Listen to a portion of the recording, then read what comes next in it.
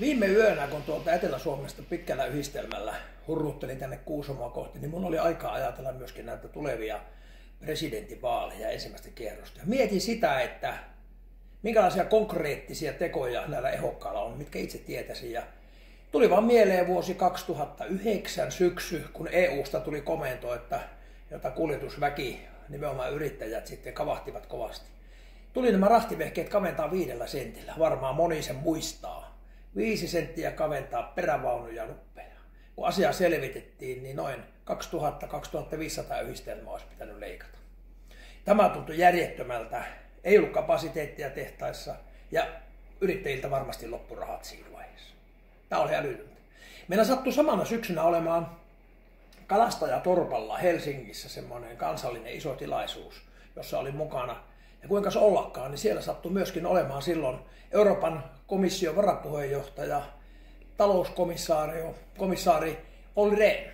Ja kun Olli vanhastaan tunnen jollakin tavalla, tiedän hänet ihmiseksi, että hän kuuntelee, hän pysähtyy, jos ihmisellä asiaa. Ja niinpä päätin, että tämä asia, joka kosketti myöskin omaa yritystäni, tämä asia täytyy saada kerrottua nyt sillä tavalla, että onko totta, että EU vaatii suomalaisia rekkoja, ei lämpösäädeltyjä rekkoja, vaan, vaan normaalirahtiliikenteessä olevia rekkoja niin kaventamaan viisi Kerroin tämän huolen Ollille.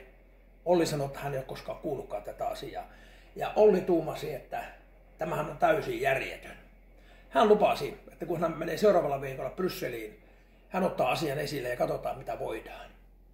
Mä näin Olli ilmeistä, mä näin Olli silmistä, että Olli tarkoitti mitä hän sanoi. Hän oli syvästi ihmeessä, miten näin voidaan tehdä. Ja niin vaan kävi, että pari viikkoa kun meni, niin saatiin kuulla, että asiaa siellä harkitaan uudestaan. Ja loppujen lopuksi muutaman viikon päästä EUsta tuli ilmoitus, että suomalaisten ei tarvitse niitä rekkoja, jotka nyt tien päällä on tällä hetkellä, niitä ei tarvitse kaventaa, vaan ne voidaan käyttää loppuun. Ja sitten uusi investointi koittaessa, niin sitten ne tehdään 5 senttiä kapeammaksi, niin kuin aikanaan oli sovittu sen siirtymäajan suhteen. Minusta tämä on hyvä esimerkki siitä, että kun toimeen tartutaan, Olli otti sen hoitaakseen, Olli myöskin hoiti. Ajattelen, että siinä meillä on semmoinen presidentti, joka hoitaa Suomen asioita. Ei tämäkään asia olisi Ollille kuulunut.